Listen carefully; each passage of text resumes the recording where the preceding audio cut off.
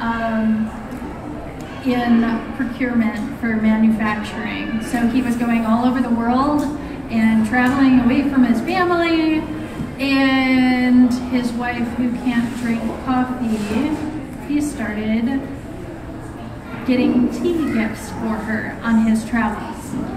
Um, which benefits us because he decided to turn it into a business. So he um, traded his his manufacturing hat in and decided to start doing loose leaf tea here in Omaha.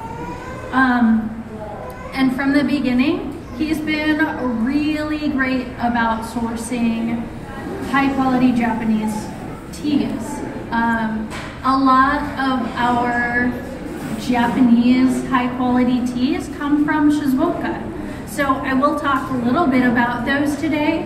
Um, and you can also visit me uh, just outside in the tent. Um, I'll be tasting those in the tent today. So if you'd like to try any of these, um, I should have some there available for you to taste. Uh, just come say hi. And so anyway, uh, tea in Japan really got its start during the Song Dynasty of China. During the Song Dynasty of China, there were Buddhist monks that brought tea plants and tea over to Japan. And they brought it primarily as a meditation aid. So at that time, tea was being ground down into a powder and frothed. Or as they say, beaten with a bamboo brush into a froth in a bowl. So during the Song Dynasty of China, uh, that tea that they were whisking, uh, beating with a brush, was a black tea. It was not as high quality as you're seeing these days. Um, but a black tea beaten into a froth is going to have a white froth on top. So a lot of the bowls that you would see from that period are going to be dark because they want the froth to be a different color than, than the bowl because the froth was very prized. So when you see a matcha tea ceremony from Japan, it's like this little window into the past of Chinese tea culture uh, and preserved at that point. But it's preserved in this unique Japanese way. Uh, in the late 800s, early 900s is really when Japanese tea started to come to being. Um, and during that time, they, there was a big cultural interchange between Japan and China. Um, and they eventually codified that, that tea ceremony into what we now know as the Cha no Yu ceremony. Um, the person that really codified that ceremony is Sen no Rikyu. Uh, Sen no Rikyu kind of developed a few primary points of the Chanoyu, um, really taking a look at the simplicity because prior to Sen no Rikyu, they had loads and loads of decorations. Uh, it was a little excessive, so he brought it back to bare bones and appreciating nature the Zen qualities that you see through the, the Cha no Yu that we know today. Um, but interestingly enough, early on in tea culture in Japan, they would have these lavish parties of tea tasting where there would be all kinds of foods and, and sweets and different teas and you would win prizes for uh, guessing where a particular tea came from. Apparently, Shogun Tokugawa is renowned for having drank tea almost exclusively from the Honyama area of Shizuoka. So, um, and today you will be able to taste some teas that I have from Honyama Shizuoka. I actually have a shincha, which shincha means new tea. So shincha is the very first harvest of tea in the season. That's the very first picking of tea in early spring. So they'll be picking that early April usually, depending on the weather. Um, and then later on, you get a sencha. So sencha is really um, iconic of Japanese tea. So we've got a sencha. So sencha is going to be a springtime picking of tea. It's not quite the shincha. Shincha is the very first harvest. Um, but then later on into the summer and early fall, you get a bancha. So then with the bancha, you can roast a bancha to create what's called hojicha. Hojicha looks nice and brown, but it still is a green tea. Uh, the reason it's still a green tea is that it is processed as a green tea. They stop the oxidation prior to the oxygen interacting with an enzyme in the tea leaf and creating different uh, flavor aspects, breaking down the antioxidants into what becomes a black tea or even an oolong tea. Um, now, so if you go into the tea history, you have the culture really um, having an interchange of ideas, language, art between Japan and China. And then you have the isolation period at about 1300. Anybody help me with the dates on that? Do you guys know? Oh, my heart. Okay. Well, around 13, 1400, um, you have the beginning of the isolation period in Japan. Um, so during the isolation period, uh, just prior to that, they started to see teas coming out of China that were loose, as opposed to in bricks that they broke down and crushed. Um, so, and ground down into a powder. Um, so, with the matcha ceremony, you see a, a look into Song Dynasty China tea preparation, whereas the loose tea preparation is what started to come after the Emperor of China decided that tea was um, making his currency unstable because people were trading tea in place of his currency.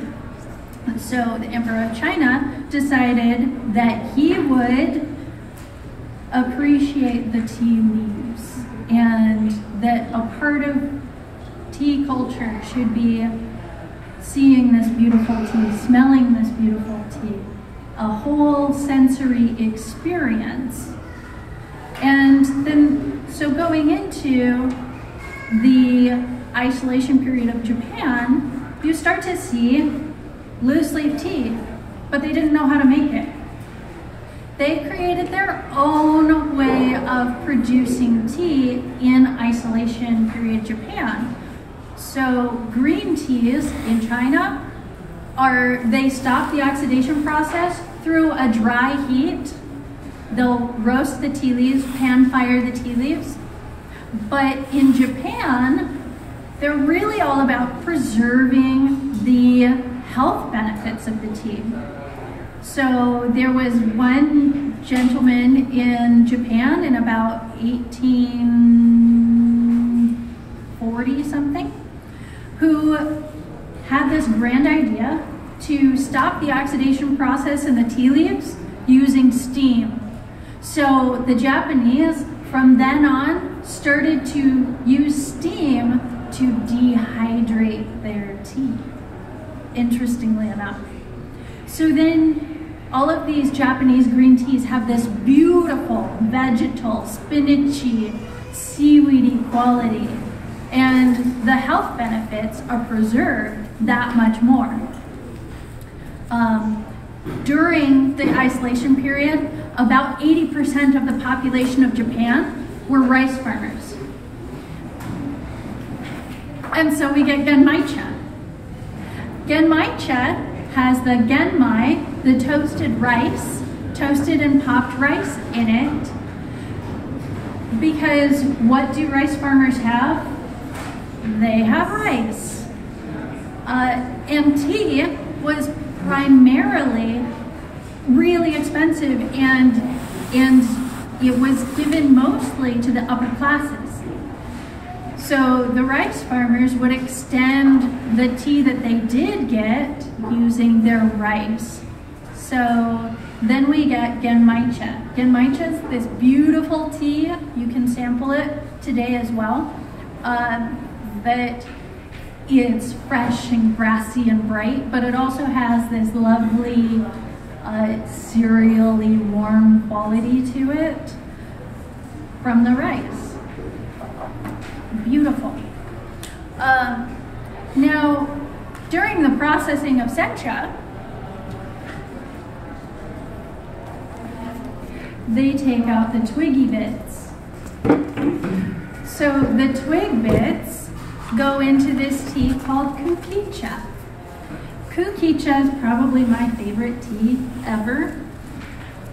It has this beautiful grassy taste to it, but it's balanced out and it's rounded. So kukicha is lower in caffeine because the twiggy bits of the leaf don't have as much caffeine in it, but they have more L-theanine amino acid in them. Uh, L-theanine amino acid, they've done so many studies on to show that it helps your body to process cortisol, your stress hormone. Um, so I love kukicha primarily for that reason.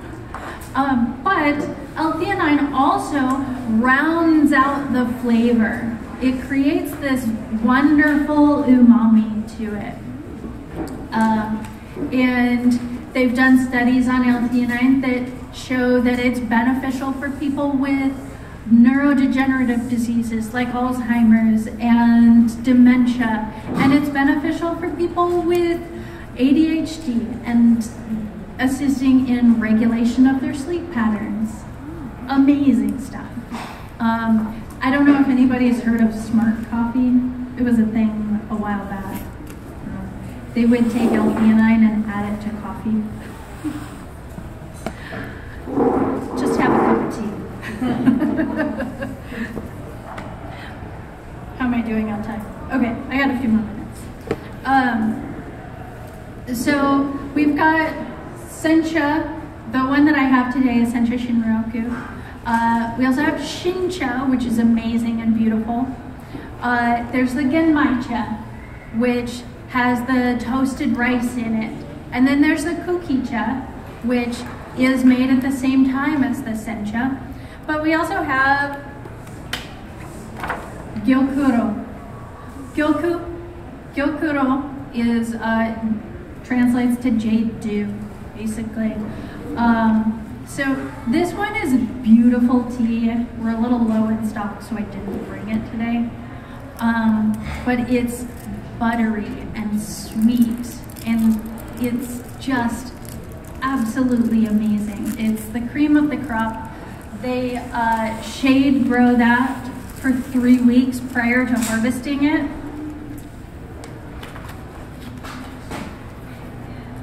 Up in the hills of Shizuoka, they've got these screens that they pull over the tea plants and allow the, the tea plants to struggle and that struggle from less light uh, just it causes the L-theanine to increase the caffeine to increase also, um, and the antioxidants as well.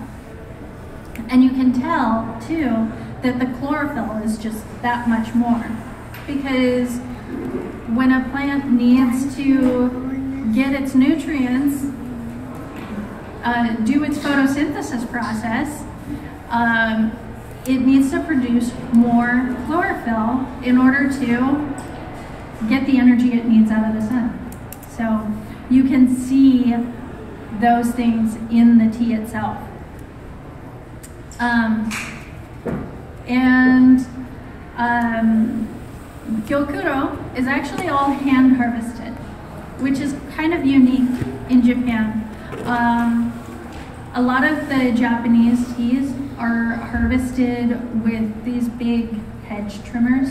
Usually these two-man hedge trimmers. One, uh, one side there's a guy holding holding the, the handles and they're just going along the rows that are about two people deep and the other guys on the other side and they take these hedge trimmers that have all of these tiny little shears going through that that um, sense how high the tea plant is and so it cuts it to a certain length.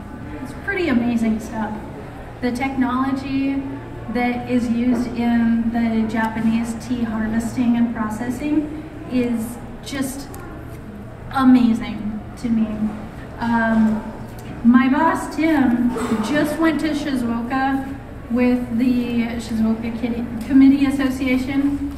Um, and before, when he went, this is what a matcha grinding room would look like before. Now, they don't let you take pictures, but rather than grinding the matcha on a granite mill, they grind it, the culinary, they'll grind it with air. It's basically in a cyclone inside. It's amazing. And then the ceremonial, it's a ball grinder. Amazing. So completely different looking than these old mills that here's, here's one that's taken apart. There's the top and the bottom. Um, the tea just goes down in the middle and it comes out all of these little channels in a powder form eventually.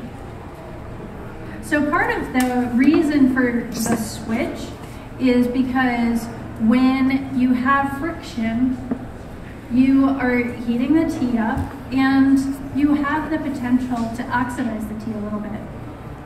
Um, so the two things that, that make tea primarily go off its flavor are air and light. So part of that is because you don't want to put your tea next to your onions. It absorbs those flavors. Just saying, don't put your tea by your onions or your garlic. That would um, give you some rather soupy tasting beverages. But interestingly enough, that's how they first started drinking tea. They first started drinking tea in China by adding it to their soup as a leafy green vegetable. Um, so, moral of the story now, uh, keep your tea by itself. Um, if you are going to put your tea in your refrigerator, I like to put my matcha in the refrigerator. Um, keep it in the fridge up until the time you open it. When you open it, you'll probably want to consume it within about a month. Um, because, so once you open it, it opens to the air and there's moisture in the air. So that, that tea, that powdery tea, will wind up getting some, wrapping the, the moisture particles from the air with tea and powder. So then you'll wind up with like little balls of tea in your tea tin, and you don't really want that if you put it back in the fridge. In and out of the fridge, it, introduces more moisture to it. Um, so something special that I did bring today is I did bring tencha. Tencha is the tea leaf that is fixed prior to grinding down into matcha. So I do have some of the tencha. It's really unique to even uh, obtain any of that. But what's also unique to obtain, and I brought to taste today, I didn't bring any to sell, um, but I brought a Japanese oolong and I brought a Japanese black tea. Um, the majority of teas that are produced in Japan are green teas. Um, so those green teas are extremely healthy. The very first book that was written on tea in Japan, in Japanese, the title roughly translates to Drinking Tea for Health or Drinking Tea for Longer Life, which is kind of evident in the processing of green tea in Japan. That's why they use the steam to preserve all of the healthy benefits of green tea. Um, but now, in the last 10 years or so, Japan has started to produce a little bit of oolong and a little bit of black tea. And they've even started to produce a little bit of what's called dark tea, um, fermented tea. So dark tea that is um, from Yunnan province in China will be known as pu'er. If it comes from anywhere else in the world, it's known as dark tea. Um, I don't have any of that. Maybe we'll get some eventually, but it tends to be extremely expensive. But come and visit me over at the, the tent today. Um, you can definitely try some teas. I'll even bring out my uh, private stash of ceremonial grade matcha. So come and say hi. I'll share my matcha with you. And questions too. So.